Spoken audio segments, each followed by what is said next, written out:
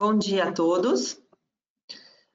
Ah, meu nome é Flávia Goldfinger, eu sou diretora executiva do IUC Brasil e vou dar início ao webinar de hoje. Então, muito bem-vindos. É um prazer tê-los aqui nesse nosso webinar e vamos iniciar então com uma apresentação rápida sobre o ILSE e sobre o webinar. Então, o webinar é o impacto na performance da atividade física em tempos de Covid-19.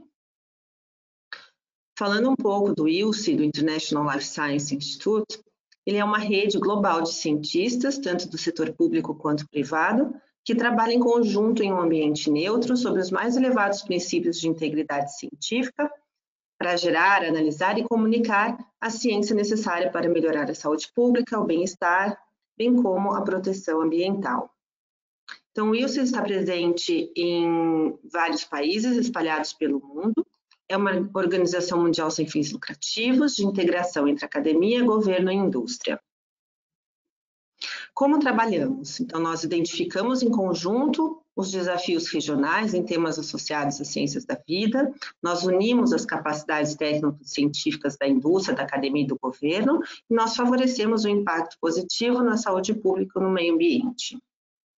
O ILSE tem também um compromisso com os Objetivos de Desenvolvimento Sustentáveis da ONU, onde todas as atividades desenvolvidas dentro do ILSE pelas nossas forças-tarefas devem estar de acordo a um desses objetivos. O webinar de hoje, então, é sobre o impacto na performance na atividade física em tempos de Covid-19. É, foi elaborado pela Força Tarefa de Nutrientes e Suplementos Alimentares, é coordenado pela doutora Nájila Damasceno e Thaís Mendes, e com a apresentação dos professores Ciana Rossi e Bruno Gualano. Nós uh, fazemos sempre uma declaração de isenção de responsabilidade, onde as opiniões expressas nas seguintes conferências são do apresentador, especialista, cientista e não refletem as opiniões do ILSE, e todos os palestrantes tiveram total liberdade para preparar sua conferência. Como informações gerais, vocês podem utilizar o chat para anotar suas perguntas e se der algum problema com a transmissão do webinar, não se desconecte, pois outra pessoa dará suporte na plataforma. Então, apresentando um pouco os coordenadores, a professora Nájila Damasceno, ela é nutricionista, docente do Departamento de Nutrição da Faculdade de Saúde Pública da USP, é diretora da Divisão de Nutrição e Dietética do Hospital Universitário, HU da USP, e diretora do Departamento de Nutrição da Sociedade de Cardiologia do Estado de São Paulo, SOCESP. A Thaís Mendes é nutricionista, mestre em ciências pelas faculdades, pela Faculdade de Saúde Pública da USP, é especialista em nutrição clínica em pediatria pelo Instituto da Criança, do HC USP. Um, tem MBA em Economia e Gestão pela Fundação Getúlio Vargas e atualmente é responsável pela área de assuntos governamentais na Herbalife Nutrition para Brasil. Então, esses são os nossos canais. Então, por favor, se vocês não nos seguirem ainda, nos sigam no LinkedIn, no Facebook e entre no nosso site, que todas as nossas publicações estão disponíveis lá, bem como os vídeos também de todos os webinars que nós fazemos. Muito obrigada a todos, espero que gostem deste webinar. Vou passar então a palavra agora para a professora Nájila, que vai dar continuação ao webinar. Obrigada.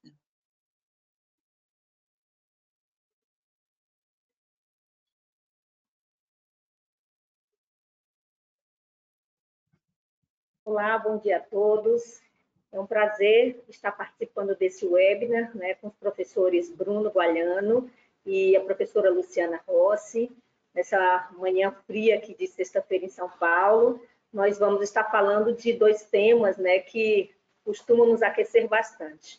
Então, é uma honra né, estar compartilhando desse momento aí com o meu colega aqui da USP, o professor Bruno, e a quem eu apresento com bastante alegria. Professor Bruno, ele é graduado e doutorado pela Escola de Educação Física e Esporte aqui da USP, tem pós-doutoramento em ciência pela Faculdade de Medicina, também aqui da USP. Atualmente, ele é pesquisador do Laboratório de Avaliação e Condicionamento em Reumatologia, é vinculado à Faculdade de Medicina da USP, e também ah, tem é, vínculo no grupo de pesquisa em fisiologia aplicada e nutrição. É, o professor Bruno atualmente é docente associado do Departamento de Clínica Médica da Faculdade de Medicina. Bruno, nós agradecemos muito aí o aceite, a tua disponibilidade, né, para estar tá passando aí teu conhecimento para os nossos internautas. A sala agora é sua.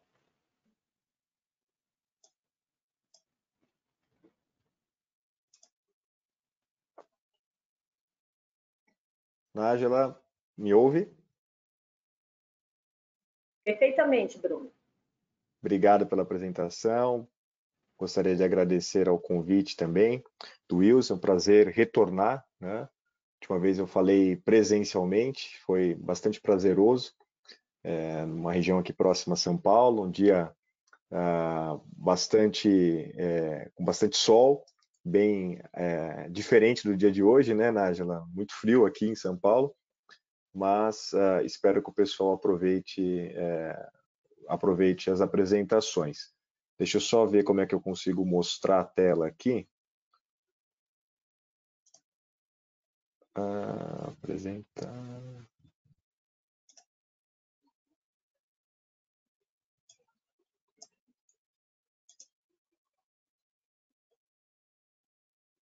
Conseguem ver minha tela?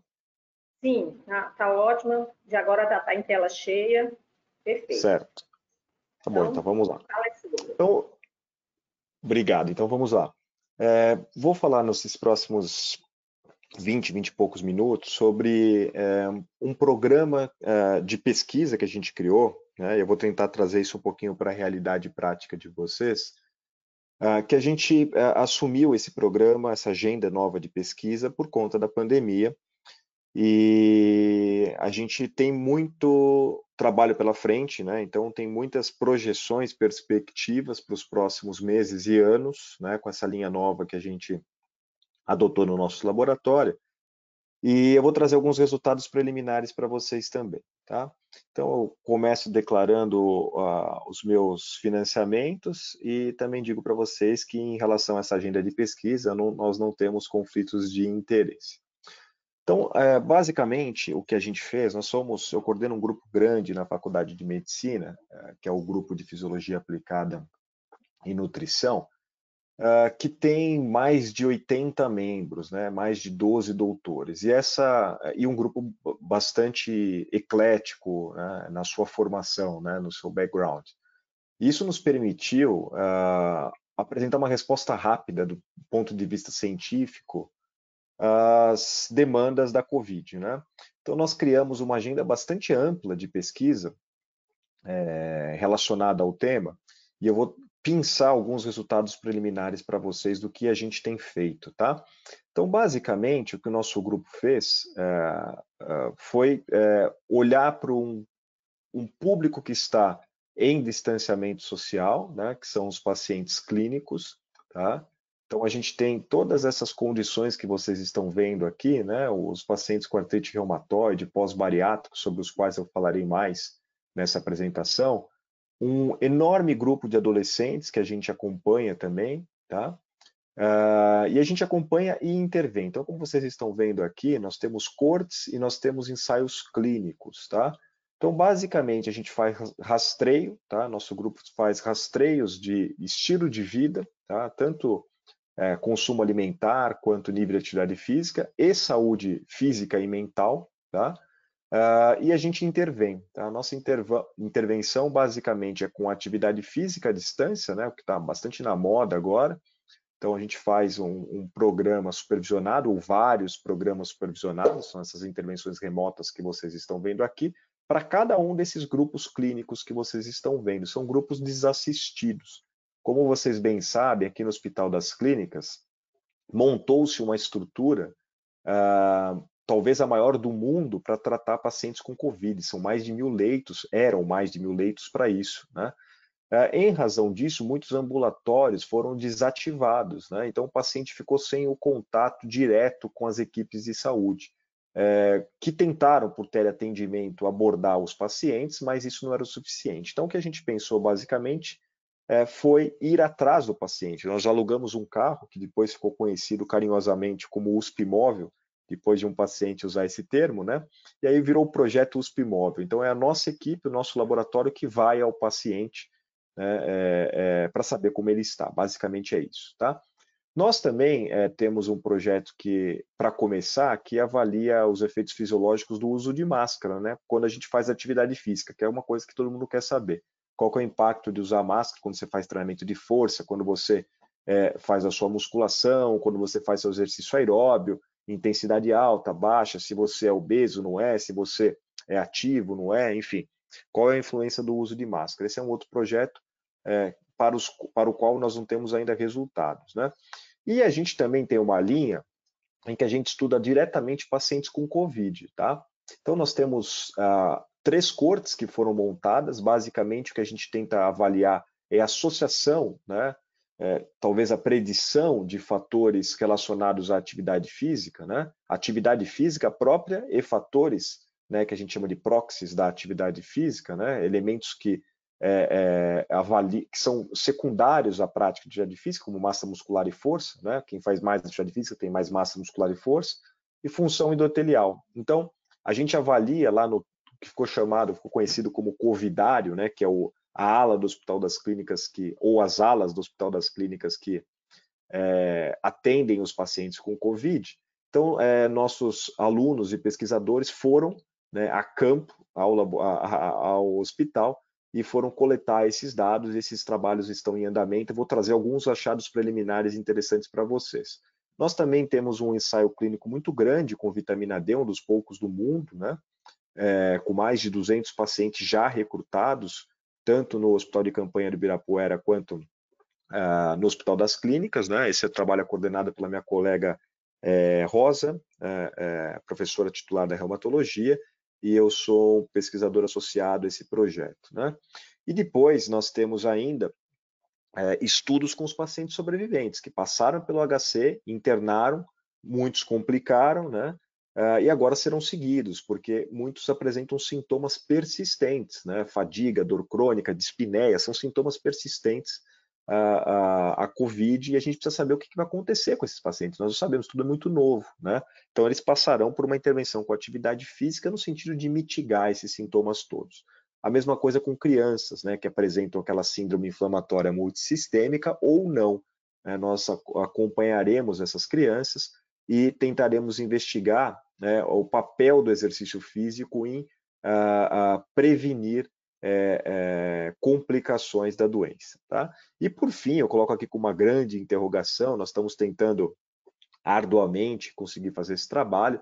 Nós sabemos que existirão várias vacinas aqui em São Paulo, no HC especificamente, na Faculdade de Medicina, se estuda a Sinovac, né, a vacina chinesa, é, em mais de 30 mil voluntários, e a gente é, tentará, né, é, é, se der tudo certo, avaliar o impacto do nível de atividade física do indivíduo né, sobre a resposta vacinal. Nós sabemos que, muito provavelmente, a resposta vacinal não será a melhor possível nesse momento, né, é, é, por conta do, da aceleração do processo uh, e da, a, da prematuridade do desenvolvimento dessa vacina.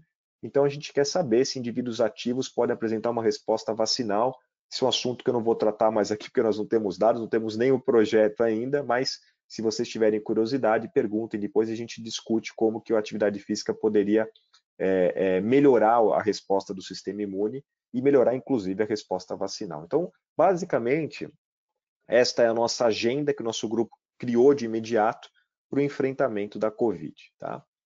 Bom, por que estudar inatividade física? Né? Olha só o que está acontecendo com a inatividade física. No mundo, isso aqui é um trabalho que é, foi publicado recentemente, mostra que no mundo há uma queda muito importante do nível de atividade física, né? Então, se a gente for é, olhar essa linha aqui, que eu não sei se acho que é uma linha roxinha, homem é tão, é tão complicado para identificar cor, né? Eu não sei que cor que é, depois vocês me contam. Mas essa cor aqui que eu estou acompanhando com o cursor.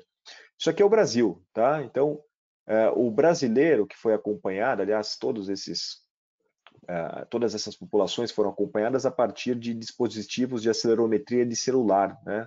Os celulares, os smartphones costumam vir com um dispositivo que mede nível de atividade física, não validado, mas é, nos dá uma ideia do que está acontecendo, isso aqui é número de passos, tá? Então, notem claramente que o Brasil está, infelizmente, na dianteira da inatividade física, da queda da atividade física. Né?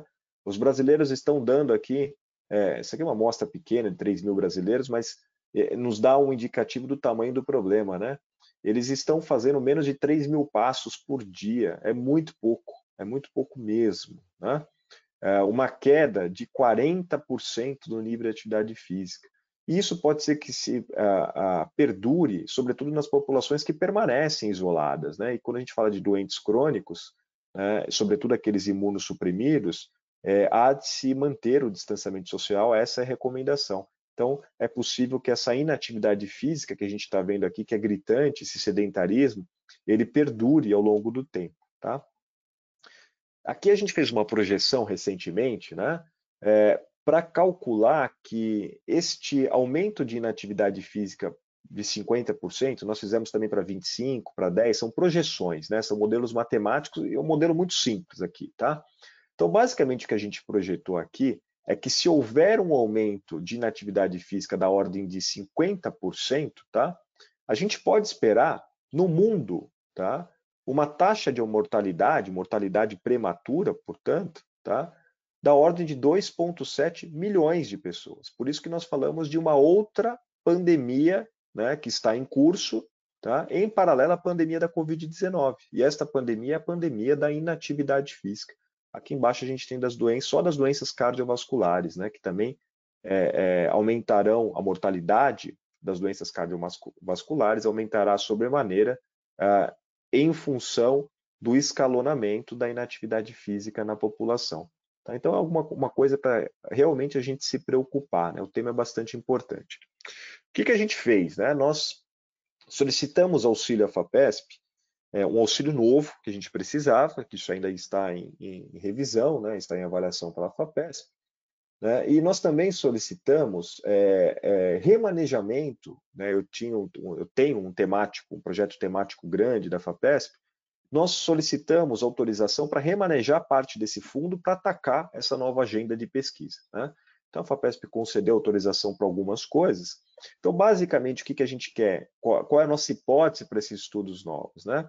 A gente tem a hipótese que a atividade física vai cair, tá? Isso, essa hipótese era anterior até esses dados que eu mostrei para vocês. Então, de fato, a atividade física está caindo, corroborando a nossa hipótese. E junto com a queda da atividade física, nós esperamos também uma queda da qualidade de, é, qualidade de vida e agravamento de sintomas de doentes crônicos. Tá? Então, nossa hipótese é muito simples do que pode acontecer. E aqui, mais para frente, como que a gente é, combate isso? Promovendo a atividade física. Né? A gente vai chegar lá. Bom, para uh, é, testar essa hipótese, nós lançamos mão desse estudo que ficou conhecido como o, o estudo USP móvel, né? Então, basicamente, o que a gente faz, né, é os nossos alunos e pesquisadores é, vão aos domicílios, né, nós alugamos um carro, eles vão devidamente paramentados aos domicílios, rodam São Paulo. Né? Isso aqui é uma trajetória de um dia desses, desses nossos pesquisadores, do nosso grupo. Então, vocês podem notar que eles passam por Guarulhos, vão para as periferias, enfim. Né? O paciente HC é um paciente vulnerável economicamente, não é? costuma morar em periferias. Então, eles rodam literalmente São Paulo toda em busca dos pacientes. Aqui são os vários domicílios, tem uma equipe nossa que fica na logística, né? Uh, e a turma vai em direção aos pacientes para atendê-los. São pacientes desassistidos, como eu disse para vocês. E o que, que, a gente faz? Uh, basicamente, a gente entrega para o paciente um desses acelerômetros que vocês estão vendo. Além de fazer uma avaliação é, de é, parâmetros clínicos, é, laboratoriais, coletamos sangue também, é, o que a gente faz, basicamente, é entregar um desses dispositivos, vocês podem ver aqui na minha mão, para dar uma ideia de tamanho, é bem pequenininho, a gente coloca na coxa do, do, do paciente, este dispositivo em específico, tá? É, gruda com tagaderme, e esse dispositivo vai medir é, tempo de sono, azulzinho aqui, como vocês estão vendo, nível de atividade física moderada vigorosa, que é esse vermelhinho que vocês estão vendo aqui ao longo do dia, em amarelinho, tempo sedentário, tá? Então, aqui é só para vocês terem uma ideia, essa aqui é uma paciente com artrite reumatoide antes e durante a pandemia.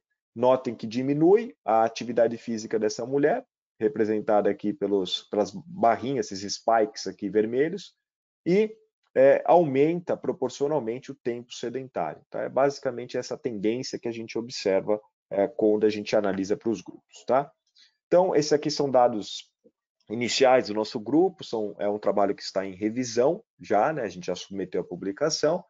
Uh, são pacientes com artrite reumatoide, como vocês podem notar aqui, são pacientes que apresentam diversas comorbidades, né? metade da amostra com hipertensão, desipidemias, né? um terço com diabetes do tipo 2, outras doenças reumáticas, uma vasta uh, diversidade de medicamentos, como vocês estão vendo aqui, drogas modificadoras da doença, prednisona, uh, drogas biológicas, enfim. Né? Então, nós seguimos 35 desses pacientes, tá? E observamos o seguinte: há uma queda, como esperado, né? É, confirmando a nossa hipótese, é, da atividade física moderada vigorosa, tá? Então aqui a gente conseguiu comprovar aquele dado preliminar com um instrumento não validado, usamos o instrumento validado e verificamos que isso acontece, 40% praticamente, e há uma queda também da atividade física leve da ordem de 13%. Mas os resultados mais interessantes são esses daqui, né? Esse dispositivo, como eu disse para vocês, ele mede também o tempo sedentário. E o tempo sedentário prolongado. O que, que é isso? É o aquele tempo que a gente fica à frente é, de tela, por exemplo, né, sentado, é, ou dando aula, como, como eu estou fazendo agora, né, é, ou assistindo a aula, como vocês estão fazendo agora. Né? Então, este é, tempo prolongado, sedentário, aqui mais de 30 minutos e mais de 60 minutos, aumentou durante a pandemia, que a gente tem durante a pandemia e antes desse período de é, distanciamento social. Né? Notem que esse tempo prolongado de é, é, comportamento sedentário, né, é, maior do que 60 minutos, aumentou na ordem de 85%, é muita coisa. Tá? Aí vocês vão pensar o seguinte, puxa, mas qual que é o significado desse achado? Né? É, um dia que eu fico assim, um mês que eu fico assim, ou o tempo da pandemia, um ano que eu fico assim, vai ter uma repercussão biológica importante? Bom, aí a gente se remete a um projeto que nós temos em paralelo, né? Esse faz parte daquele projeto temático que eu falei para vocês. Nós estudamos isso em laboratório, né? Nós estudamos a fisiologia, tem o pessoal que estuda a fisiologia do exercício, nós também, mas nós estudamos também a fisiologia do comportamento sedentário. Então, como que a gente faz isso? Nós trazemos os pacientes para o laboratório, tá? E a gente controla diversas variáveis, inclusive alimentação, como vocês estão vendo aqui, alimentações padronizadas. Esses pacientes passam oito horas conosco no laboratório. Numa condição, eles ficam sentadinhos por oito horas. Tá? Numa segunda condição, eles fazem uma sessão de exercícios, 30 minutos fazendo exercício, tá? que é o recomendado né, pela Organização Mundial é, da Saúde, OMS. Tá? Então, fazer 30 minutos de exercício. Mas passam o resto do tempo, ou seja, 7 horas e meia, em comportamento sedentário. E numa terceira condição, eles quebram o comportamento sedentário. Então, a cada 30 minutos, eles caminham por 5. Tá? É, é, o que a gente chama de quebra de comportamento sedentário com uma atividade física muito leve. Tá? E a gente coleta sangue, outros marcadores, como pressão arterial, é, fazemos biópsias para mecanismo, etc. Eu vou só mostrar, por que, que eu estou mostrando isso para vocês? Só para apresentar um dado, né? Como vocês podem não acreditar que um dia único de comportamento sedentário prejudica a saúde, é só para vocês verem aqui o que acontece, por exemplo, com a glicemia do indivíduo ao longo do dia. Aqui a gente tem a área abaixo da curva. Quando o indivíduo fica muito tempo sentado. Quando o indivíduo fica muito tempo sentado, que é essa barrinha aqui e essa linha cheia, né, que vocês estão vendo aqui, opa, perdão, há um aumento na área abaixo da curva importante, tá? Que o exercício por si só não é capaz de reverter. Só a quebra do comportamento sedentário. Tá? Então, quando se quebra o comportamento sedentário, a cada 30 minutos de tela, o indivíduo levanta, por exemplo, e caminha os seus 5 minutos, tá? há uma redução da área abaixo da curva da ordem de 28%. Olha que interessante, é importante a importância da quebra do comportamento sedentário prolongado né, e o efeito adverso desse tempo prolongado sedentário, num único dia, num único dia. Né? A gente acredita que esse efeito se soma ao longo do tempo, por isso essa grande preocupação. Não basta só fazer exercício, tá? É importante também diminuir comportamento sedentário. Então, ser ativo e reduzir comportamento sedentário são duas medidas importantes e independentes. Nós fizemos o rastreio também de pacientes é, pós-bariátricos, tá? E olha só que interessante os achados que nós ah, observamos. Esses pacientes, eles, ah, ah, eles eram operados até 12 meses, né? Então, eles tinham passado pela cirurgia, né? ou a cirurgia que a gente chama de Y de Ru, ou a gastrectomia do tipo manga ou sleeve, né? E a gente seguiu esses pacientes uma vez que eles ficaram também alijados do atendimento presencial, né? Então, esse é um trabalho que a gente fez em colaboração com os colegas da GASO, em especial uh, o doutor Marco Aurélio. Né? Esses pacientes recebiam três ligações telefônicas e uma visita presencial. Tá? Vulneráveis, como eu disse para vocês, do ponto de vista econômico, né? obesos. E olha só o que a gente encontrou. Tá? Esses pacientes que vocês estão uh, vendo aí apresentavam uh, o que era esperado, né? uma, uma circunferência de cintura acima dos valores normais, né? são pacientes operados, mas a operação em si não os torna magros, eutróficos, né? Mas o que mais chama atenção aqui é que mais de 50% apresentavam níveis, apresentavam níveis elevados de pressão arterial, 25% inflamação crônica, aqui determinada pela proteína C reativa, alguns dislipidemia, né, como vocês podem notar aqui, né, é, um controle glicêmico também é, subótimo. Né? Aqui são os dados de saúde mental desses pacientes. A gente pode notar que é, a compulsão alimentar não foi tão documentada assim, né? A porcentagem pequena, né, de 5%, apresentou compulsão alimentar. Mas é, a gente pôde notar que cerca de 40% da nossa população apresentavam algum transtorno de ansiedade e um terço da nossa amostra algum sintoma depressivo, o que é bastante importante. De fato, três pacientes que foram visitados apresentavam o que a gente chama de ideação suicida, né? É, pensamentos suicidas.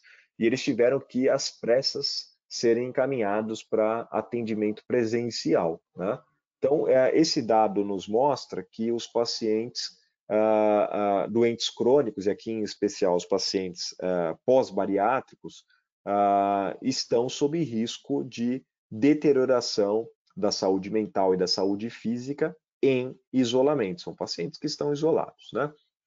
E olha só que interessante, aqui é um gráfico que a gente chama de gráfico em teia, né, que mostra o seguinte: a gente subdividiu os nossos pacientes entre os inativos tá, e os fisicamente ativos. E nós notamos que a qualidade de vida mental e a qualidade de vida física tá, são menores para os pacientes inativos. Tá? Então, aqueles que não cumprem o mínimo de atividade física são aqueles que tendem a apresentar uma pior saúde física e uma pior saúde mental. A importância do estilo de vida em todos esses marcadores de saúde que nós discutimos até aqui. Bom, nós sabemos, mudando um pouquinho de, de, de, área, né, e falando um pouquinho dos estudos com Covid, diretamente com pacientes com Covid hospitalizados no HC, nós sabemos, né, esse é um trabalho muito bacana publicado no The Lancet, que mostra que a fragilidade predispõe à mortalidade em pacientes internados com Covid. Tá? É um trabalho europeu, multicêntrico, né, que mostra basicamente que aqueles pacientes mais frágeis, em comparação àqueles mais é, é, condicionados, eram aqueles que tendiam a morrer ao longo do tempo, né, ao longo do processo de admissão hospitalar. Ocorre que esse marcador de fragilidade que eles usaram aqui é bastante subjetivo e nós quisemos olhar para marcadores mais objetivos. Tá? Então, aqui é só para adiantar para vocês, essa nossa corte aqui vai até 180 pacientes, de acordo com o nosso cálculo amostral, nós estamos próximos disso, felizmente, né, graças a um trabalho hercúleo do Saulo, né, que é um doutor do nosso grupo, né, que tem lá coletado esse dado, tanto de força de preensão manual, como vocês estão vendo aqui, que é o tal do hand grip, quanto de ultrassom, que mede é, a área de secção transversa dos músculos da coxa. Então, o que a gente tem aqui como preliminar é uma análise meramente preliminar, gente, só para não deixar vocês sem os dados, né? É, sem, corrigida fator, sem correção para fatores de confusão ainda. Tá? Basicamente, o que a gente nota aqui é que o tempo de internação para os indivíduos que têm mais força muscular é basicamente a metade tá, em comparação para aqueles que têm uma menor força muscular. Tá certo? Então, esses caras passam 20, 20 e poucos dias internados, né, com mais força, versus aqueles que passam mais de 40 dias internados com menos força. Um cenário muito parecido é observado para a área de secção transversa, no músculo da coxa, chamado vasto lateral. Tá? Ou seja, quanto mais massa magra eu tenho no momento da internação, tá? que vocês estão vendo ali em azul, em menos tempo eu saio né, do hospital. É um dado bastante interessante e mostra como o nosso estilo de vida pode, é, é, de certa forma, predizer as respostas clínicas, né, a evolução clínica que nós teremos caso sejamos internados por Covid-19. Tá? Então, mudando o estilo de vida, a gente consegue é, modificar também é, os desfechos da doença, pelo menos é uma sugestão desses dados preliminares. Tá? Então, em termos de palpites, né, é, o que a gente chama na ciência de hipóteses, nós traçamos algumas e nós estamos testando essas hipóteses nesse momento, né, que são trabalhos publicados pelo nosso grupo, trabalhos de revisão é, é, durante esse período da Covid. Basicamente, o que a gente defende é que a prática regular de atividade física tá, vai prevenir, né, pode prevenir, né, uma série de sintomas cardiovasculares, a imunocinescência, que é a deterioração do sistema imune no envelhecimento, tá? Uh, e também nas doenças reumáticas, que é o nosso carro-chefe, a gente estuda muitas doenças reumatológicas, né? É, prevenir uma série de sintomas e controlar, melhorar a qualidade de física, a qualidade de vida, né? Essas são as hipóteses que a gente coloca e a gente vai atrás de resultados para uh, uh, testá-las, né? Então, para uh, deixar algumas recomendações práticas, eu estourei meu tempo aqui, 25 minutos. É, Bruno, faltam cinco, cinco minutos, tá? Para você. Cinco minutos ainda? Ah, então tenho mais tempo, mas eu vou me adiantar e eu deixo o meu tempo restante para a Luciana, então. Uh, recomendações práticas, tá? O que, que a gente pode fazer nessa época de Covid, de distanciamento social?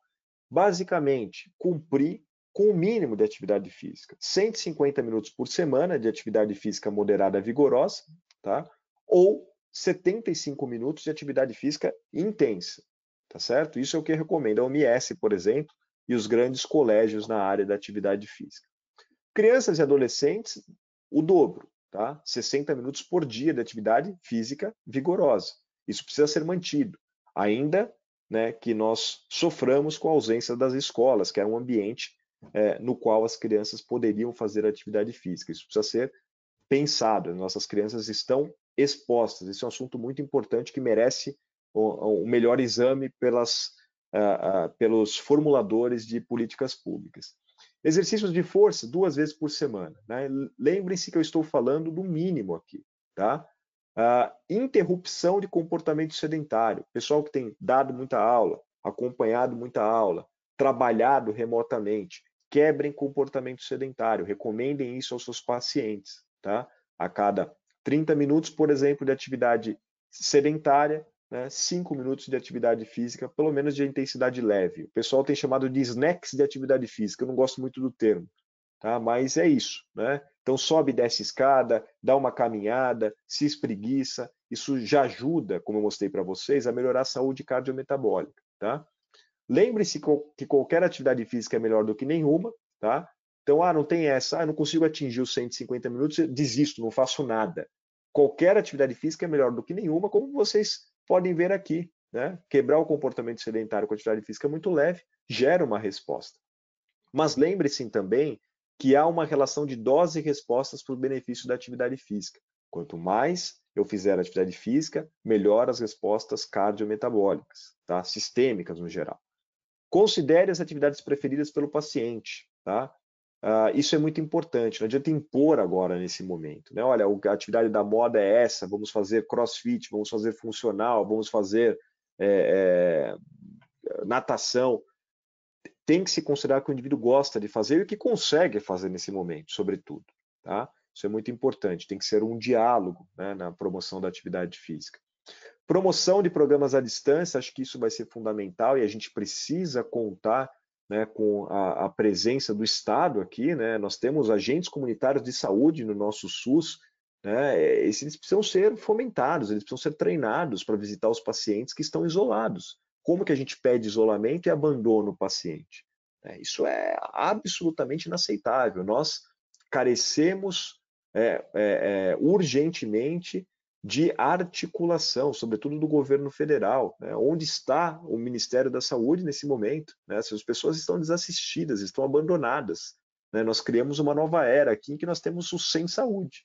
Né? Isso é inadmissível né, quando se tem um programa da dimensão do SUS. Né? Esse, o programa tem a, a, capacidade de assistir essas pessoas. Falta coordenação. Tá? É, e aqui uma orientação clínica para vocês. Avalie e acompanhe nível de atividade física em cada anamnese de vocês, é importante. Avaliem também barreiras e facilitadores. Não adianta pedir para o seu paciente fazer uma maratona, né, sendo que ele está em home office, por exemplo, 12 horas por dia. Né? Então, é, é, as barreiras precisam ser identificadas e facilitadores precisam ser criados também. Isso é tarefa do profissional de educação física, nutricionista, médico, qualquer profissional da área da saúde. Tá? Bom, Uh, finalizo aqui agradecendo uh, demais todos os, uh, os componentes do Grupo de Fisiologia Aplicada e Nutrição, dos muitos componentes, né, todos os nossos colaboradores nacionais e internacionais que estão trabalhando ah, nesses projetos que eu apresentei para vocês, os nossos financiamentos, em especial a FAPESP, né, e aqui essa turma que merece todos os agradecimentos, né? É, a, a, turminha nossa aqui que tem ido a, a, ao front, né, como tem se falado agora, né, para coletar esses dados, arduamente fizeram isso, né, é, mesmo na, na, pior fase da pandemia. Né. Então, um agradecimento nominal e especial a essa turma que participou diretamente desse trabalho. Obrigado pela atenção.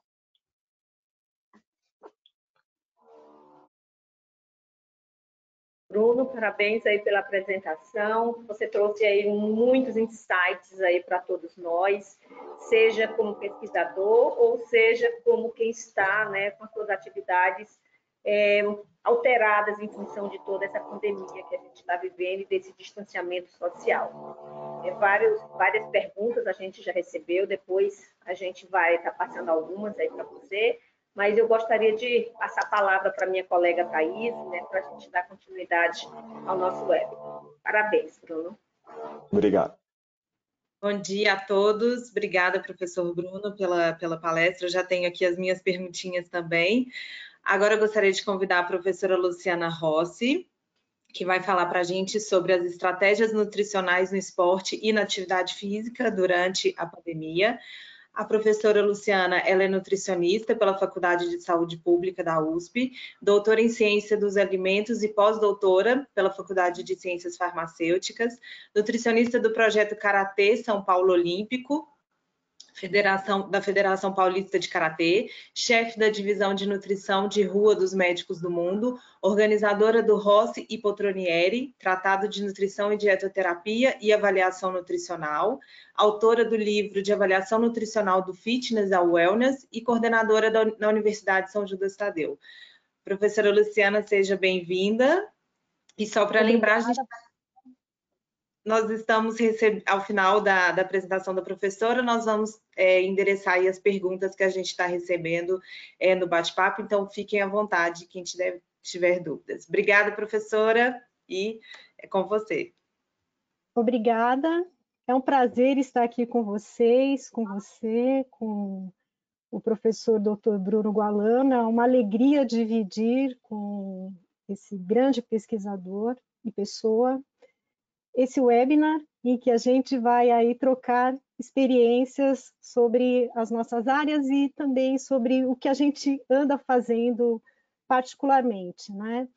Eu também, em determinado momento da minha apresentação, eu vou trazer o que eu ando fazendo dentro do meu contexto de atendimento com atletas de alto rendimento. Então, eu vou compartilhar agora aqui com vocês, ao início da minha apresentação, é, não esqueço de, de, agradecer também o Wilson pela oportunidade e apenas, por favor, me digam se vocês conseguem ver o primeiro slide da minha tela.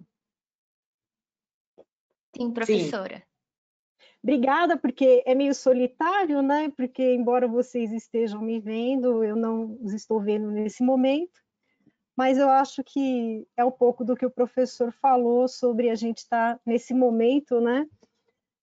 Embora conectados, a gente não estar junto, mas a gente não está de uma maneira presencial, então a gente tem essa interface que às vezes a gente é mais visto, né, como docente, como professor, do que a gente está vendo vocês. Então, a minha parte que cabe são as estratégias nutricionais no esporte e na atividade física, né? Então, eu já começo, começo a destrinchar aqui que quando a gente fala de atividade física, a gente fica num contexto que é o não esporte, porque é uma atividade que é, é ela é espontânea, como bem apresentado pelo professor Bruno Gualano, e que nós estamos vendo que está diminuindo bastante aí é, nas consultas e também comprovadamente pela ciência. Então, eu vou inverter um pouco a, a ordem aqui, vou falar inicialmente do que se tem no trabalho que eu tenho de atividade física com os meus pacientes, que a gente tem visto por aí, e depois eu vou partir para a parte da, do esporte especificamente. Também é, gostaria de declarar que eu não tenho nenhum conflito de interesse em relação à minha apresentação, e que na, quando nós falamos né, de o impacto do sedentarismo devido ao Covid-19 e o confinamento, né, e todos os impactos que foram mostrados brilhantemente pelo professor Bruno Balano em relação à saúde metabólica, cardiovascular e neuromuscular, a gente tem aí implicações fisiológicas e patofisiológicas que passam por uma combinação necessária, atividade física e nutrição. Aqui nesse grupo, né, eles colocam um termo que eu acho bastante interessante, que é a tempestade perfeita. Então, ela está se aproximando, como a gente está bem vendo aqui, né? embora o campo esteja verde, ela está se aproximando e a gente já está se preparando para um dramático aumento de doenças metabólicas. Exatamente para a combinação de fatores, né? que é o aumento do tempo livre obrigatório, né? Então, é uma redução da atividade espontânea, como foi colocado. Horas na TV, que por si só já é um marcador aí negativo de saúde, de qualidade de vida. Não só horas na TV, mas no remoto nós trabalhamos o triplo. Eu ia falar o dobro, mas eu acho que o triplo cai bem. O tédio e a fome e o impacto que se tem né, do, do, do, aumento desse tempo livre e a redução do gasto energético diário, como foi mostrado, impactando de 35% a 40% de redução do gasto energético diário.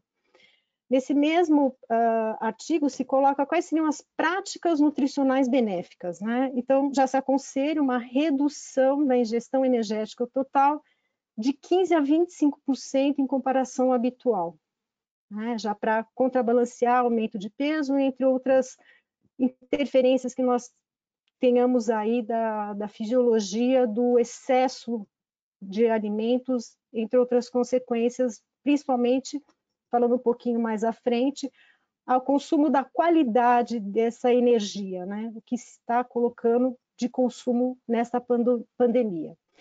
Outra coisa também é reduzir a frequência entre as principais refeições priorizando né, um café da manhã com um pouco mais de densidade de energia em detrimento aos outros. Inclusive, nesta é, publicação, eles colocam um ditado que veio do século XII e que está em voga, né? Comer como um rei, almoçar como um príncipe e jantar como um plebeu. Eu achei bastante interessante que um artigo científico trouxesse esta expressão que já não ouvi há algum tempo. Bem, fontes de proteína de boa qualidade, né? Manutenção de síntese proteica, 1,3 gramas por quilograma de peso. Lembrando que a recomendação para a população em geral é 1 grama por quilograma de peso, então já se aconselha um aumento, né? Principalmente de proteínas, alto valor biológico, e consumo moderado de sementes, nozes e gorduras que tem aí, uh, que tem um padrão de gordura mais uma densidade energética em termos de gordura um pouco maior, mas que tem uma qualidade dentro desse consumo de energia advinda das, dos lipídios. Vegetais frescos, se possível, né? Acho que é uma, uma recomendação bastante interessante, pensar em safra, né? Pensar o que se tem disponível, evitar alimentos refinados e reduzir alimentos com alto índice e carga glicêmica. Então, são recomendações bastante práticas, não posso dizer que isso é em função do Covid, é o que a gente sempre perpetuou, mas que hoje parece que há uma, uma um, um melhor uh, propagação, não só uma propagação, mas um resgate e também as pessoas estão mais atentas a esse tipo de mensagem. Trago também uma recomendação, das, eh, trago aqui uma, uma revisão das recomendações dietéticas que foram feitas por um grupo aqui da Universidade Federal de Goiás, de João Felipe Mota, um querido amigo nutricionista, em que ele pegou oito recomendações e ele fez uma revisão à luz aí da, do Covid e que traz, na realidade, o consenso aí, ou a discussão entre seis países, Austrália, Brasil, Canadá, Itália, Espanha e Estados Unidos. Ele fez uma revisão bastante interessante e fez um gráfico também que eu acho bastante ilustrativo, né? Em que fala de suplementação, grupo de risco, né? Então, uh, ainda muito pouco se sabe sobre esse, esse impacto, então, um cuidado em relação a isso, e se for direcionado a grupos de risco com, com critério, e aí ele coloca o que a gente sempre tem aí de padrão em relação a uma dieta saudável. 70% das recomendações que foram revisadas, consumo de frutas, vegetais e alimentos integrais. Na Itália, inclusive, na Espanha, por grupos, né, já, já tem porção, porcionamento de frutas e vegetais, uma coisa imprescindível que na prática a gente está vendo é a redução da ingestão hídrica, que é fundamental para a manutenção orgânica, entre outras qualidades de vida, e também ah, uma contraposição ao consumo de ultraprocessados que aumentou. Né? Então, Brasil, Chile, Austrália e Canadá já tinham essa recomendação, novamente ela está sendo colocada em voga devido à pandemia. E uma coisa bastante delicada evitar o consumo de álcool, que nós sabemos também que teve um aumento aí devido à pandemia. Então, uh, são orientações bastante pertinentes, né? E só para repassar todas as recomendações em relação à suplementação, uma atenção, cuidado para que isso seja feito com mais critério. Né? E em relação às práticas de higiene, elas estão muito em voga, principalmente relacionadas não só, não só à utilização de máscara, não só a higiene correta das mãos, mas também dos alimentos. Aí eu trago alguns é, consensos, alguns materiais que eu tenho usado habitualmente na minha prática. Primeiro, as receitas práticas e saudáveis da Asbran, excelente material. Também a, o Guia para Alimentação Saudável, essas são algumas que eu acho que tem um material visual bastante interessante para educação alimentar e nutricional. E o Guia Alimentar para a População Brasileira. Bem, aqui, né, é, embora a gente seja, eu ainda vá falar de, de, de de esporte, o guia alimentar ele tem propostas muito interessantes em relação ao resgate da alimentação, né? A comensalidade, o comer em companhia e que tanto impacta na nutrição quanto na saúde mental. Então eu acho que é bastante pertinente, por isso que ele está aqui conosco. Aí eu vou para uma outra vertente, né? Como foi dito, eu trabalho junto ao projeto Karatê São Paulo Olímpico, que uh, tem a proposta de, de, de, de pegar uma equipe e levar pelo menos alguns integrantes à proposta de, das Olimpíadas, né?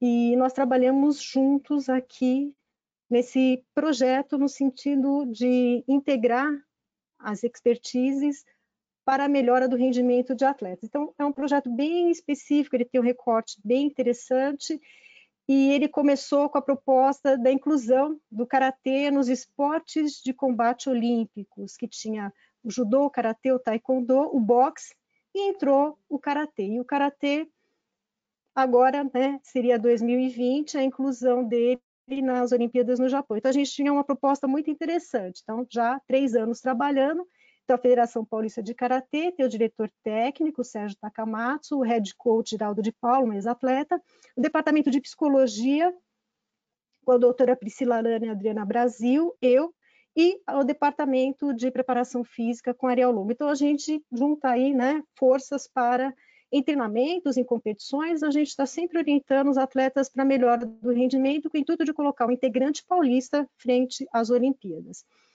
O rol que eu tenho de atletas, né, é, é de competição, né, então eu tenho aqui atletas, 54 atletas, aumentou um pouquinho mais, porque a gente tem os atletas da base agora, e uma, uma coisa interessante é que a gente tem um percentual de, uh, de mulheres inseridas em artes marciais, que é uma alegria trabalhar. Tenho duas vertentes em que eu trabalho, os catas, os movimentos, né, que são movimentos, não há pesagem, não, não tem critério de peso, e o comitê, que é a luta que eu trabalho com pesagem. Então, eu trabalho com atletas que precisam de prescrição para manutenção de um peso adequado para uma determinada categoria, e outros não. E tanto no sexo feminino quanto no sexo masculino. Então, esse é o rol que eu tenho aí de trabalho, né? Ainda tenho buscando aí na pandemia alguma coisa que pudesse me dar uma, uma indicação do que eu poderia mudar à frente aí, né, as, as, as diretrizes de, de orientação, a única coisa que eu consegui encontrar que fosse perto, que me desse um direcionamento que eu gostaria de mostrar para vocês, é as recomendações referentes aos esportes de colisão. Nesses esportes de colisão, né, em que se encontram as artes marciais, mas também o rugby, como eu mostrei aqui na figura, e o futebol americano, eles têm aí orientações em relação à possível modificação que a gente tem na prescrição nutricional. Então, eu gostaria de mostrar para vocês que é avaliação criteriosa do gasto energético. Vamos ver como é que a gente faz isso, né? Já vou colocar, vou colocar o que deve ser feito e o que pode ser feito, que são duas coisas muito diferentes, né?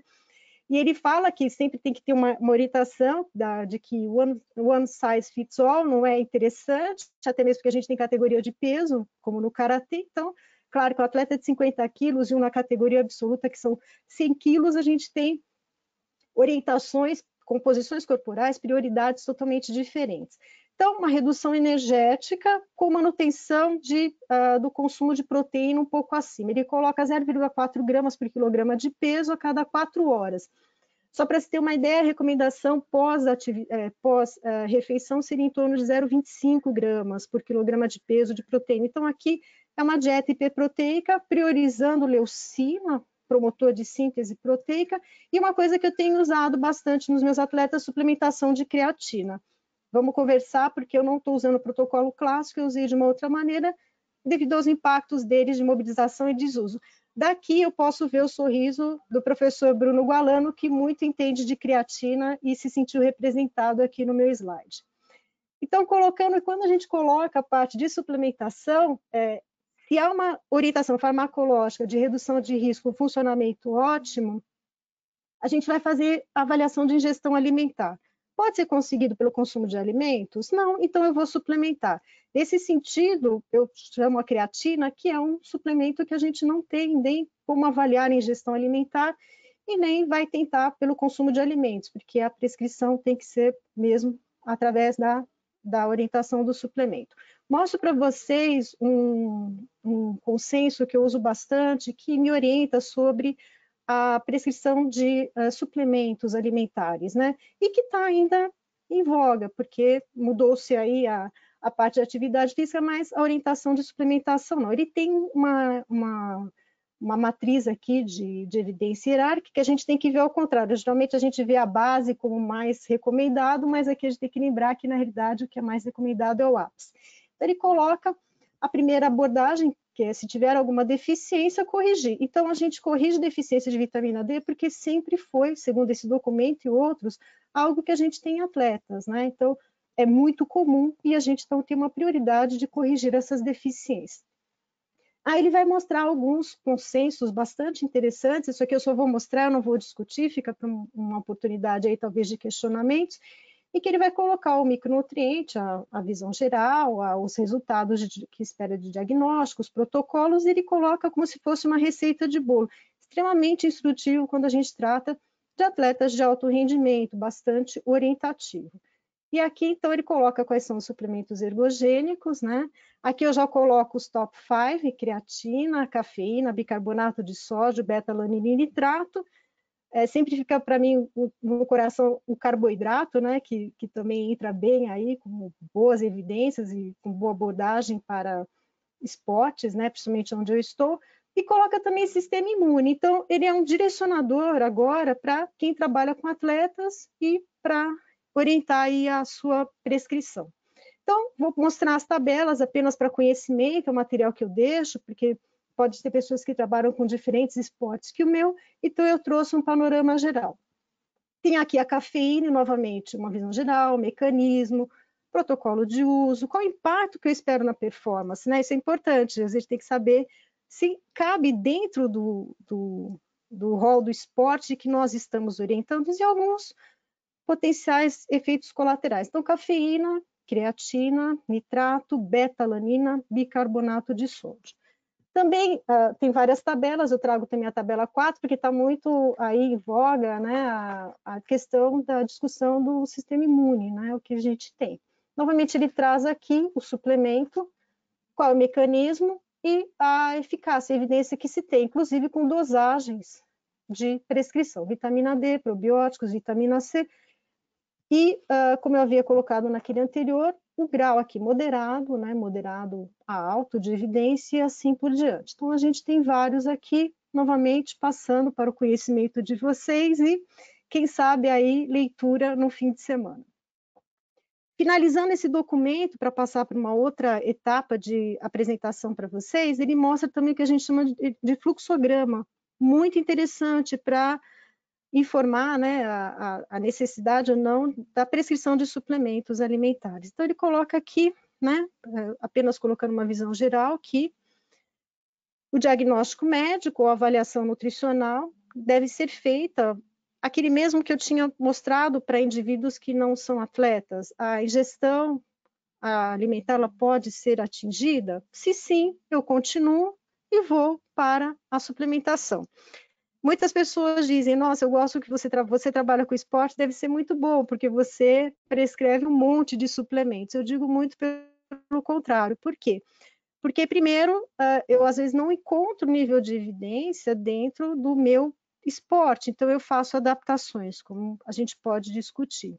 Outra também é a preocupação em relação a, ao doping, né? Quando a gente inclui um suplemento, sempre há um problema relacionado ao doping acidental, então pode ter contaminação. Então, uh, sempre eu tenho que estar preocupado quais são os problemas relacionados ao doping, né? Não é a intenção do atleta, e se for medicamento, a gente tem que entrar com a, a autorização de uso terapêutico com o médico. Então, a gente tem aí várias coisas para fazer. Então, suplementação sempre o que for mais racional possível. E nós temos também a resolução 656 de 2020, agora, né, que pelo artigo 4, a gente tem que ter plena né, é, consciência desta, deste nível de evidência para suplementação, porque uh, o nutricionista, né, cabe a ele a responsabilidade ética, civil e criminal quanto aos efeitos de saúde em clientes, pacientes, usuários, por imperícia, imprudência negligência em termos do, da conduta do código de ética. Então, sempre muito cuidado no uso indiscriminado de suplementos, sejam atletas ou desportistas. Agora, passando um pouquinho para uma, uma, outra abordagem, né, assim como o professor Bruno Gualano, ele colocou muito bem, eu gostei bastante, que assim, viu a pandemia, o que a gente vai fazer? Desassistir esses atletas, né? Vamos lembrar que eles estavam indo para uma Olimpíada, tinha alguns já classificados, a gente estava comprando passagens, sonhos, eles estavam já, né, eh, lapidando o treinamento para já no mês seguinte já estar já pensando em, em, em competir e de repente tudo mudou não mudou só para eles, mudou para todos nós. Eu gostaria de mostrar algumas mudanças de paradigma que eu tive que enfrentar junto com os atletas, junto à equipe multidisciplinar, para não desassistir ninguém. Então, vamos lá. Eu vou colocar primeiro em relação ao atendimento nutricional, né? Então, veio a resolução 646 de 18 de março de 2020 pelo Conselho Federal de Nutricionistas que possibilitou o teleatendimento. Ok, se eu estava preparado ou não, isso é uma outra né, vertente. Então, fomos lá para o teleatendimento, eu tive que me adaptar, minha postura, é, o ambiente, né? Vocês estão vendo aqui, eu estou na minha casa, agora é, minha sala de aula, meu consultório, é onde eu dou palestras, então onde a vida acontece. Então, é nesse sentido. Uh, também tive que me adaptar à equipe multidisciplinar, é uma maior dependência deles, né? Por vários motivos que eu vou tentar mostrar e um alinhamento, né? Temos que falar a mesma coisa, né? O que, que põe em risco o atleta, né? O excesso de treinamento, a gente, como nós vamos adaptar isso para a segurança dele, né? Avaliação nutricional, vários protocolos que eu tinha de antropometria, consumo alimentar, né? Aí veio a, a, a regulação da, da, dos suplementos alimentares, eu tive que mudar, porque como é que eu vou fazer uma, uma prescrição suplementar né, com com toda a responsabilidade, se eu preciso do consumo alimentar, como é que eu adapto isso? Exames bioquímicos eu posso pedir para fazer a prescrição é, suplementar, mas como é que eu vou pedir para ele sair de casa? Qual é a segurança dele para isso? Será que vale o risco? Então, tudo isso foi pensado. Em relação aos atletas, eles estavam na competição, tinham um gasto energético, daqui a pouco eles foram para um treinamento, daqui a pouco eles foram para um treinamento virtual, e o nutricionista acompanha, e a equipe multidisciplinar também. E quais são as possibilidades, assim como o professor Bruno Gualano, né, de pesquisa? O que, que eu vi que, puxa, isso realmente eu tinha que avaliar nesses atletas, comportamento alimentar. Então, eu vi que era algo que eu abandonei o que eu estava fazendo e fui para essa vertente. Então, agora eu vou gastar alguns minutinhos para falar isso. Então, a primeira coisa, tive, nós tivemos, né, aqui a, a, liberação para o teleatendimento e o material, né, o material do Conselho Regional 3, que é onde eu estou inscrita, Conselho Regional de Nutricionista 3, com orientação, até para fazer avaliação nutricional. Fui me adaptar, era para desportista, fui me adaptar para atleta. É, a gente, a gente faz o que dá para ser feito. Em relação ao acompanhamento nutricional, essa era a minha vida presencial, a gente se reunia quase todo mês, a equipe multidisciplinar, a gente pegava os atletas, sentava, todo mundo atuava na equipe. Aí já fui atuar individualmente. Então, fui lá para o meu consultório, atendendo os atletas individualmente, continuam sendo atletas com as suas expectativas. Aqui é um atendimento em que nós estamos com o atleta, eu estou com a psicóloga, então fui lá atender junto com a psicóloga. Aqui um atendimento que é maravilhoso, eu comecei a atender com uma outra nutricionista, essa minha atleta é de Bauru, então eu tive, ela faz a prescrição, ela faz a avaliação lá e eu auxilio aqui, então a gente procurou formas novas de trabalhar. Aqui é um atendimento de uma equipe, né? Todos são do projeto, todos atletas, junto com um profissional de educação física. Então, uma, isso que era muito assim é, pouco comum na minha vida se tornou um habitual. A todo momento eu estou fazendo isso. Então, para mim, de um mês em que a gente fazia isso, no final eu faço às vezes isso uma semana. Eu faço todos esses atendimentos. Então, realmente foi um, um descobrir, né?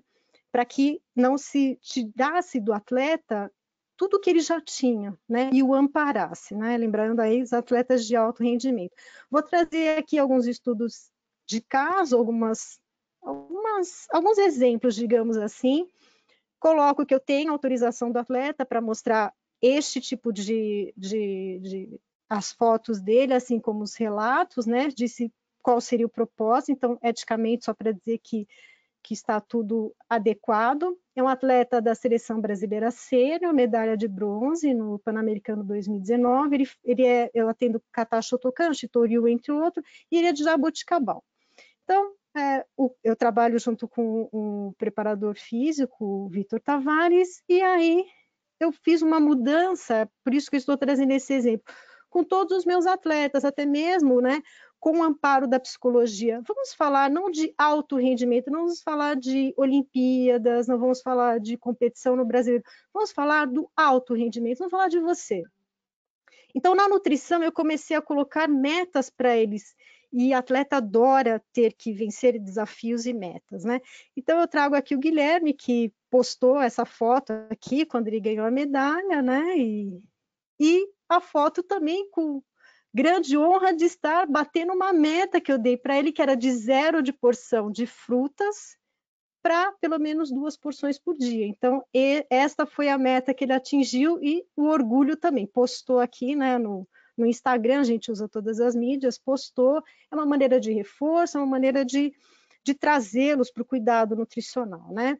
Uma outra coisa também, aqui para chegar num golpe desse, que é um IPOM, é treinamento. Por que, que a gente não treina também o nosso atleta para fazer um diário alimentar, para prestar atenção na sua alimentação? Então, aqui, eu estava até brincando com a, com a Build, que esse atleta aqui é bem treinado. Olha, ele já decompõe um suco de limão natural. É meio limão com água e tantas colheres de açúcar. Ele já sabia que eu ia pedir. Então, aqui, repolho refogado. Então, Se ele é treinado para dar um golpe, ele também pode ser treinado para ver ingestão de água, ele pode ser treinado para tirar uma foto. Vocês estão vendo aqui também que as fotos que eles estão tirando, que foi o, o modo como eu comecei a fazer registro de três dias, ele tira já numa distância, ele arruma, olha, já colocou a fruta aqui, ó, parece o guia alimentar. Se vocês olharem o guia alimentar da população brasileira, vocês vão ver. Ele já está com foto de guia alimentar. É muito gratificante realmente ver um atleta voltando, né, para o cuidado da sua alimentação, preparando um prato, né, equilibrando. E é claro, né, eu coloco tudo isso num programa, eu explico para ele, né, Aqui, por exemplo, é 1,6 gramas por quilograma de proteína, eu faço as contas com ele, eu mostro o gráfico. Aqui, um instrumento muito legal que é uma, dentro do, do programa que eu uso, que ele dá uma ideia de qualidade. Então, ele fala de ultraprocessados, o quanto está consumindo, então eu dou esse retorno para ele. Ou seja, a gente faz uma, um resgate muito interessante da, da alimentação. Novamente, receitas saudáveis, cuidado com a higienização e guia alimentar. Puxa, mas guia alimentar para a população brasileira, para atleta, novamente naquele recorte de qualidade de vida, de preparar a mesa, da regionalidade. Eu vou resgatar um pouquinho mais com vocês. Ah, essa aqui não era para mostrar, não, mas tudo bem. Outra coisa também, educação alimentar e nutricional, todo dia, toda hora. Então, deu vontade de comer aquele salgadinho, é uma fome hedônica, vamos tentar ir para o racional. Olha o que você pode comer, né? Então, quanto tem de calorias? Então, eu mostro esse slide para eles, a gente discute.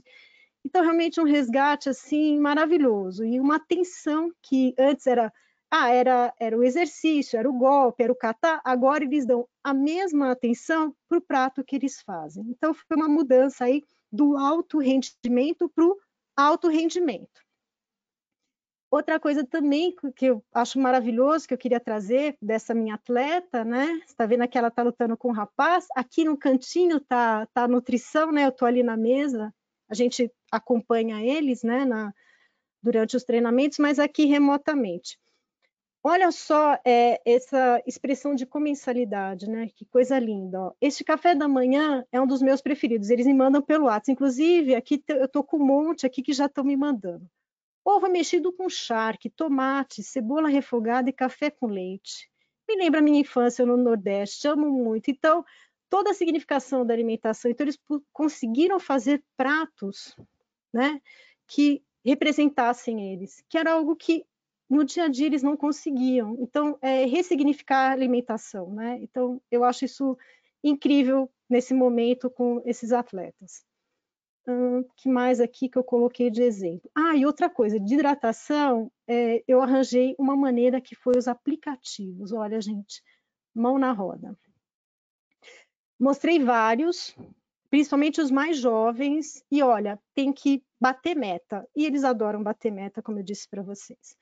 Então, eu coloquei assim, vou colocar o Waterminder aqui, né? Então, eu coloco lá, né, uma, algumas metas um pouco, né, altas, né, mas eles me mostram.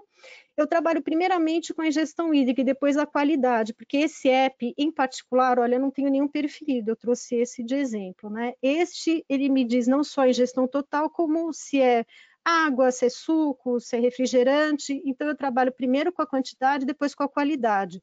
Super certo, eles me mandam, eu já eu já faço uma orientação e depois de, olha, duas semanas eles estão assim com a gestão hídrica adequada, que tem um impacto incrível. Uma outra coisa também que eu gostaria de dizer, que eu acabei me descobrindo, né? Eu nunca tinha participado, não sei vocês, de um treino online, né? Tem até competição online, mas eu participei de treino. Aí eu fiz um vídeo, nunca tinha feito, gente, foi o primeiro, orientando o pré-exercício, né? É, porque o, o treinamento acontecia meio-dia. Eu falei, gente, mas meio-dia, como vocês estão vendo aqui, né? Puxa, mas meio-dia é um pouco ruim para eles, né? Então eu fiz um, um, um, vídeo dizendo como é o café da manhã, orientando para que eles não tivessem é, estresse gastrointestinal. Então foi uma, uma descoberta minha também, né?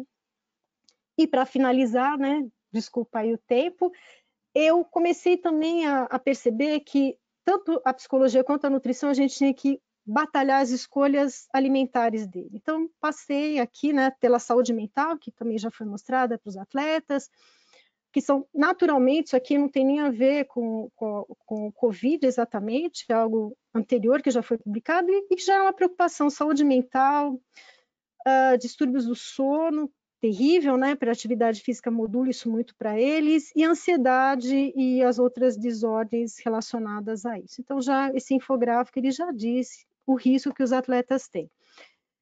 E nas escolhas alimentares, a gente sabe muito pouco sobre atletas, né? O que determina as escolhas alimentares e como elas são influenciadas por alguns fatores. Então, a gente fez um questionário do Google Forms para esses atletas da, do projeto Karatê São Paulo Olímpico. Eu usei o Food Choice Questionnaire, com, que Heitor e uma, uma Heitor e a sua equipe de 2018 e 2019 traduziram e validaram para a população brasileira, ele é aplicável em atletas e ele tem nove domínios aqui que podem ser explorados: saúde, humor, conveniência, apelo sensorial, conteúdo natural, preço, controle de peso, familiaridade e preocupação ética, né?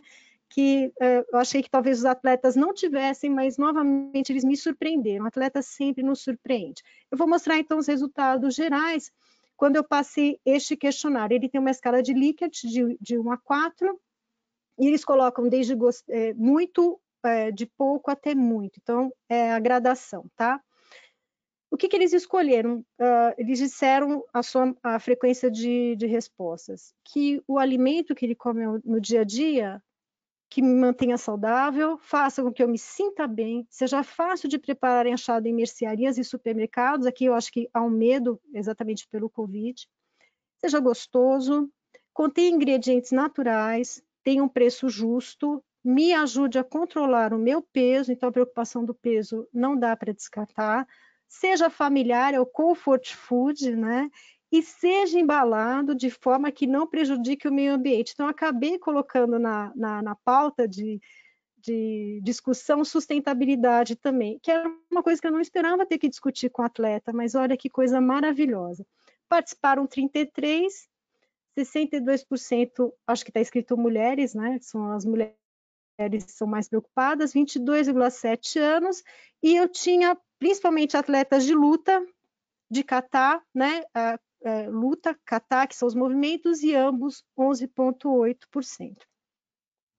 Uh, agora, então, né, agradeço não terem puxado a minha orelha de algum modo aqui, eu acho, eu tenho certeza que eu estourei o tempo. Eu gostaria de deixar meu Instagram, meu agradecimento e três publicações aí que, que me representam, principalmente o Tratado de Nutrição e Dietoterapia, que eu conto até com participantes do ILSE aí que escreveram capítulos. Agradeço a atenção, vou descompartilhar a minha tela, que eu acho que deve ser por aqui, e fico à disposição. Muito obrigada. E novamente desculpa o tempo, viu? Eu Obrigada, professora, acho que foi ótimo.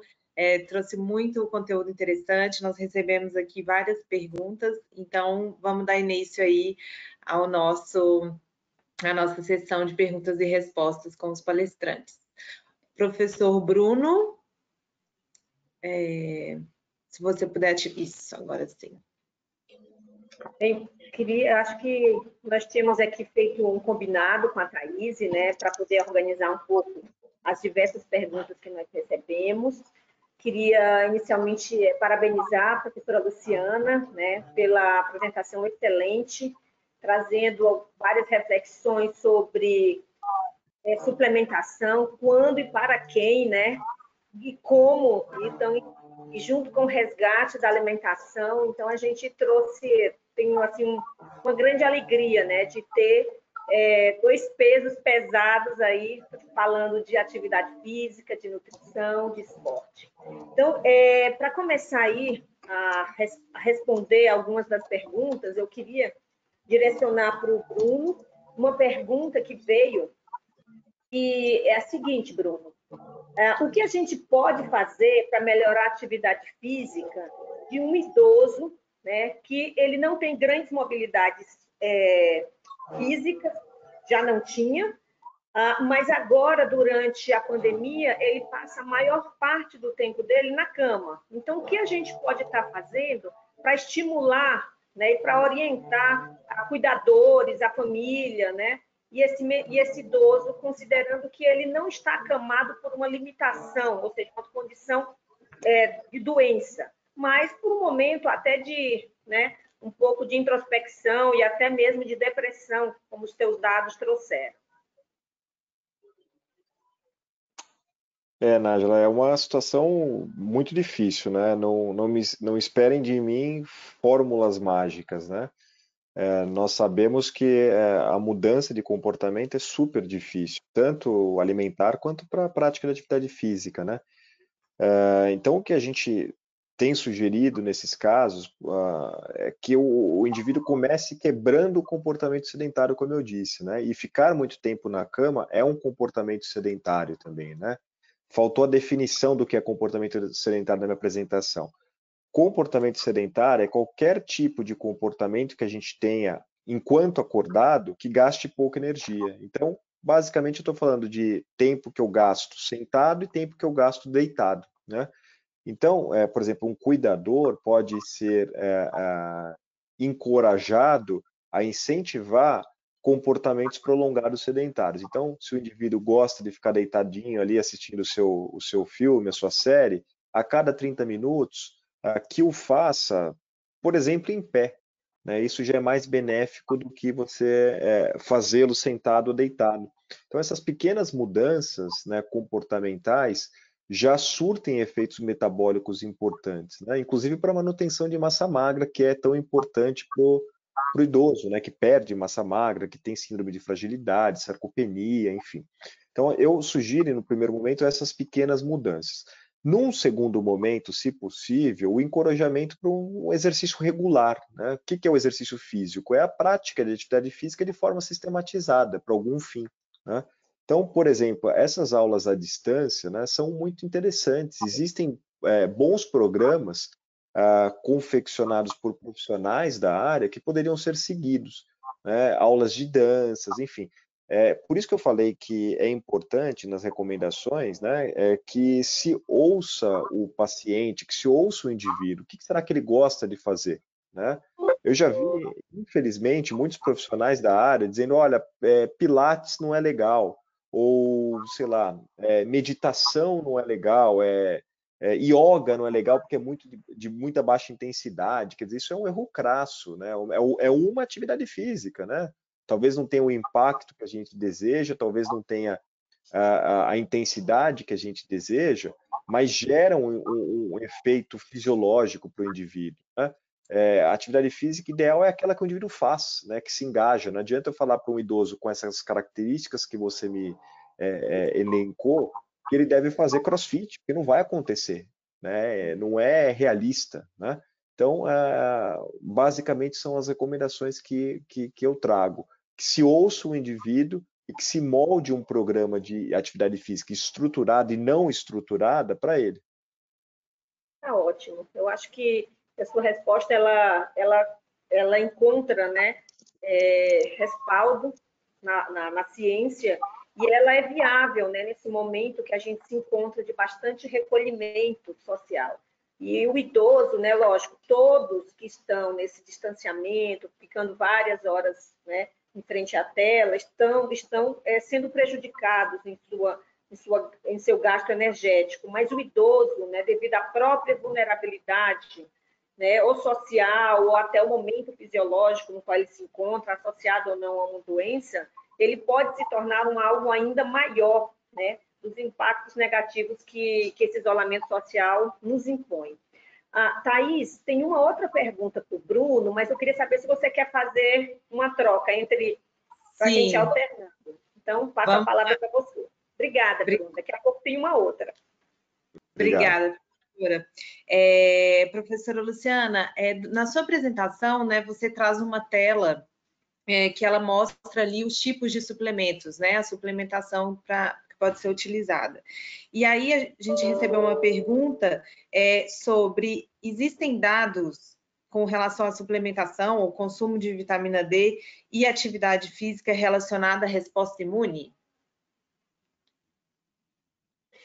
Tem, tem sim. É, realmente, a, a, a, deficiência de vitamina D está ligada tanto à parte de sistema imune quanto à própria função muscular, né? Então, ah, existem estudos sim, e a correção faz com que você tenha, então, né, uma, uma digamos assim, uma, uma qualidade de vida e de treinamento, de rendimento que não te coloque em, em risco em relação à performance, né? Agora, o excesso desse, desse consumo, tanto para o Covid agora, quanto para rendimento, levando em consideração que o atleta não está em período de rendimento, aí não se tem nada em, estabelecido atualmente. Obrigada. Professora Nájila, com você. A, outra pergunta que chegou, Bruno, ela é bastante interessante. É, não foi abordada na sua apresentação, mas eu acredito que talvez você se sinta confortável aí para trazer alguma discussão nessa, nessa, nessa questão. Considerando né, o número de pacientes que vocês estão acompanhando, são pacientes com diversas condições clínicas, vários deles que já tiveram é, o Covid e que vocês agora estão acompanhando não só o momento agudo de internação, mas também o momento pós. Ah, o que você tem acompanhado ou investigado enquanto equipe em relação ao uso de probióticos ou então a, a avaliação dessa homeostase da microbiota mesmo?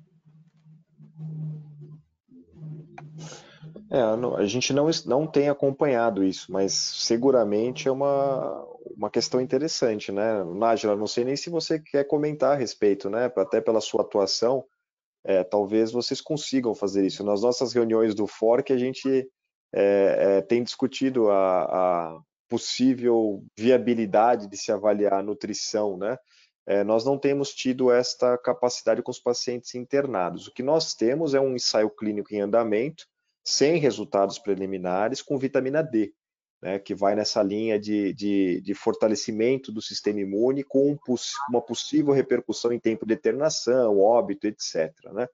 É, então, eu não tenho resultados ainda para dizer. Não sei se alguém no mundo tem feito isso, acho que talvez é, você mesmo, Nájila, possa comentar, ou, ou, a Luciana, não sei se vocês sabem se é, como as pesquisas estão avançando nessa área. Ao meu conhecimento, não tem nada de muito uh, eficaz uh, uh, com comprovação científica que mostre eh, benefícios para o paciente já hospitalizado. Né?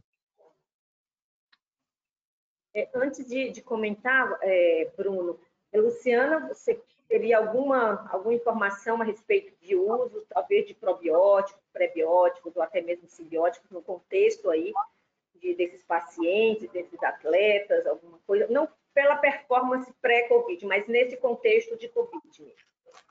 Não, ainda não. O que se tem é que eu gostaria de colocar agora com a, com a suplementação alimentar, com a, a 656, talvez a gente tenha mais liberdade, porque a gente ficava, acho que acredito, numa fronteira até onde nós poderíamos né, avançar na prescrição e quais seriam aí as implicações para a, a nossa profissão, né, para a gente avançar. Então, existem vários é, grupos que estudam isso, né? Eu poderia citar até, acho que o professor Marcelo Macedo Rogério, da, da, da, Faculdade de Saúde Pública da USP, ele tem uma linha bastante interessante em relação a isso, e quem sabe ele consiga aí, né, a, dentro da expertise dele, dos estudos, traçar a linha aí para atletas, mas a gente tem muita coisa da teoria, mas ainda na prática, porque depende muito do grupo de atletas, né? A gente sabe que talvez para atletas de endurance isso seja um, um, perfil inicial interessante, porque eles têm sintomas que a gente vê que necessitam de uma pesquisa em relação a isso. Em relação a atletas de artes marciais, que é o meu caso, a gente vê muito menos, e aí tem que ser por grupos direcionados. Então, é isso que eu tenho em relação ao esporte. Tá ótimo, obrigada, Luciana, obrigada, Bruno. O que a gente tem né, observado em relação a essa, esse equilíbrio de microbiota é algo ainda muito incipiente. É, algumas descrições na literatura, alguns pequenos relatos de ensaios com N amostral muito pequeno, que, que não comporta realmente um grau de evidência que, que permita a gente é, fazer qualquer tipo de é, ensaio a título de recomendação. É, no nosso grupo, particularmente, o que a gente tem observado e estamos né, investigando é o efeito de alguns componentes nutricionais capazes de modular de maneira mais direta o metabolismo lipídico, né? E aí a gente vê a questão realmente de fibras, ácidos graxos de cadeia curta, ômega 3, e, e, a interação desses com o metabolismo lipídico, porque o que a gente está acompanhando de maneira muito próxima é o quanto ah, o paciente que, que, se contamina com a Covid já ter dislipidemia, é, isso piora significativamente o prognóstico clínico dele e está diretamente associado com maior é, ocorrência de mortalidade, independente ou não do controle a nível medicamentoso. Então, a, a nutrição talvez tenha né, uma participação nessa dimensão, mas a microbiota, eu acho que a gente vai deixar a, a nossa pergunta ainda sem uma resposta muito clara. Vou passar para a Thais. Obrigada. Bom, o resgate né, da, da alimentação, é, dessa educação nutricional, professora Luciana, que trazido para os atletas, né, que eu acho que é uma oportunidade também que esse momento de, de trouxe, a gente recebeu uma pergunta é, sobre como encaminhar essas orientações e recomendações é, de forma mais massiva para a população. Teria um canal através das escolas, das sociedades científicas? Olha, boa pergunta, viu? Porque na realidade eu vejo vou falar sempre eu estou trazendo para minha prática, né? Então assim os atletas eles são multiplicadores nas casas deles, né? Então é o primeiro passo. Eu digo que eu estava conversando acho que com, com, a, com a Graziella em um determinado momento, eu já atendi com mãe, eu já atendi com filho, com gato, então, quer dizer, a gente elenca um tema e às vezes eu tenho cinco atletas para discutir, mas aparecem mais cinco na sala, então a gente acaba sendo um multiplicador. Isso é uma coisa interessante, né? Ao mesmo tempo que há um dilema ético aí, que eu digo, mas eu posso fazer a consulta com a família inteira, porque eu estou visualizando um paciente, ao mesmo tempo tem um papel multiplicador, então a gente tem que ter esse jogo de cintura.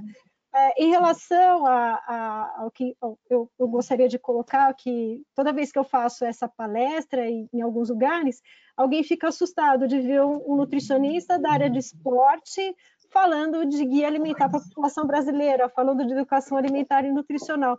Isso não deveria ser um impacto. Então, eu acho graça. E quanto mais eu acho que as pessoas acham estranho, mais eu coloco.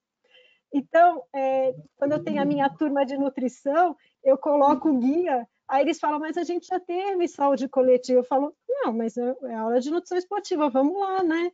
Então, é assim, essa quebra de paradigma, ela me colocou, o que eu já acreditava, ela já colocou mais fácil, né? é isso, é, é educação alimentar nutricional, é, é, colocar em voga alimentação, né? Eles acham engraçado também falar mais de alimentação do que suplemento, né? Eu falei, mas como você pode suplementar alguém se você não avaliou o estado nutricional que ele come? Isso é uma interferência imensa, né? Não precisa ser um grande pesquisador para saber que se você não sabe com a ingestão habitual ou pré-atividade ou durante a atividade, não dá para saber a, a real eficiência de um suplemento.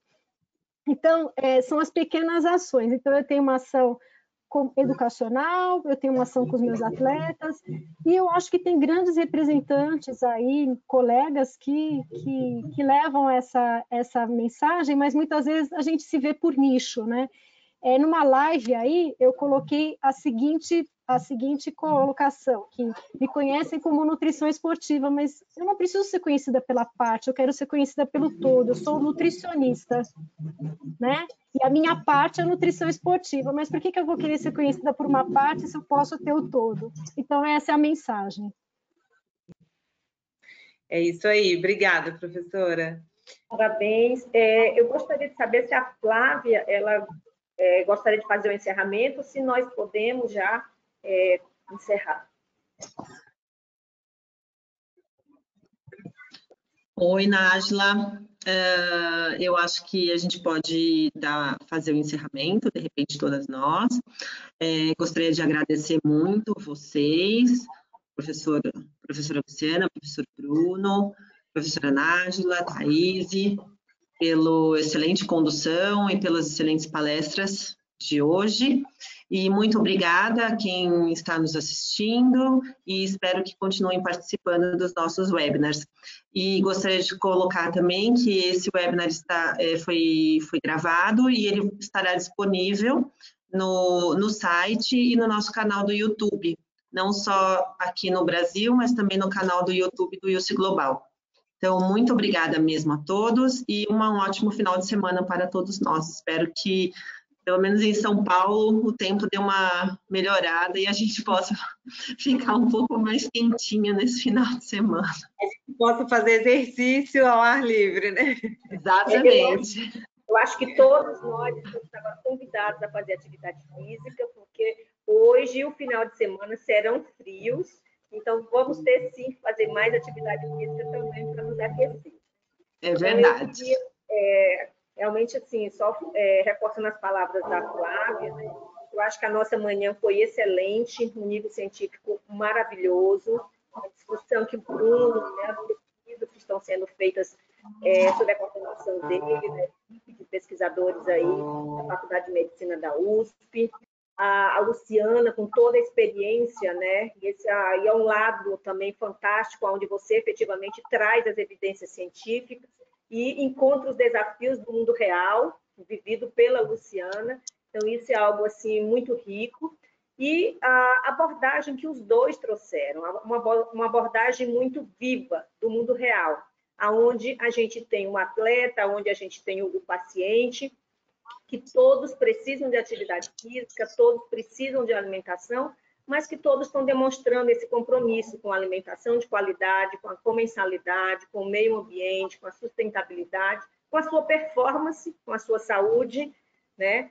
E, e que mostra que nós estamos muito mais próximos, né? É, nossos trabalhos estão muito mais alinhados a esse desejo da sociedade do que é, trabalhar em nichos, como a Luciana bem pontuou. Então, queria realmente agradecer pela, pela honra né, de estar com vocês na manhã de hoje, né, aqui com todos e com os nossos internautas, que o prazer aí de estar, estarem conectados conosco.